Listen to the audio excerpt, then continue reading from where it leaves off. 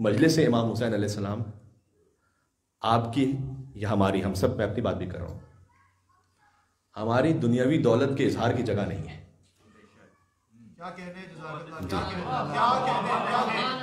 अल्लाह? ने आपको बहुत दिया होगा आपका बहुत बड़ा बैंक बैलेंस होगा आपके पास बड़ी प्रॉपर्टीज़ होंगी आपके पास बहुत अल्लाह ताला ने साथ दी होगी कि आप 10 15 20 लिबास खरीद सकें अलग अलग जिस तरह से आप चाहें। ये प्लेटफॉर्म उस काम के लिए नहीं है। इसमें जितनी सादगी हो, उतना बेहतर है। जहन में रहे? तो क्योंकि अब तो नवज़बिल्ला मिजालिक यानी हया आती है बातें कहते हुए, कि मुहर्रम और हराम का भी एक अलग अंदाज का मेकअप और अलग अंदाज की ड्रेसिंग और अलग अलग अंदाज का एक गेटअप और अलग अंदाज का बनने संवरने का तरीका। तो इमाम हुसैन सलाम की मजलिस इस बात आपकी नमूद नुमाइश के इजहार के लिए नहीं है। बात वाजे ये काम आपने करना है, किसी और जगह पे कर लीजिए।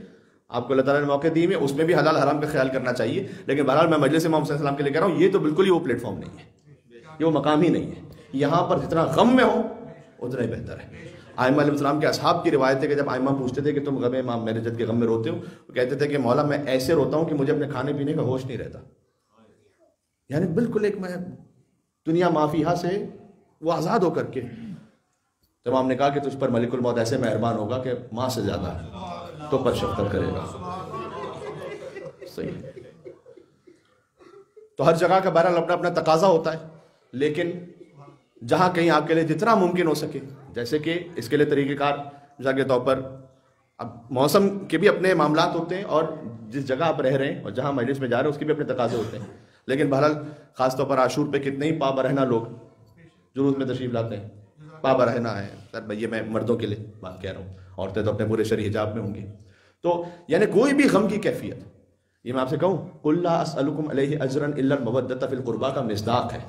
हर गम की कैफियत जो गम इमाम हुसैन में आप अपने ऊपर तारीख करें। बस उसमें वही शरीयत की पाबंदी रहे।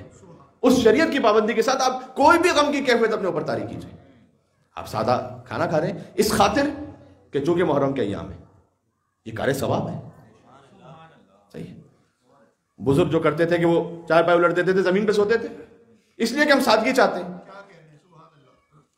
अगर वो इस नीयत से कर रहे हैं, वो गमे इमाम हुसैन इस्लाम में पैसा डाल बात बात है?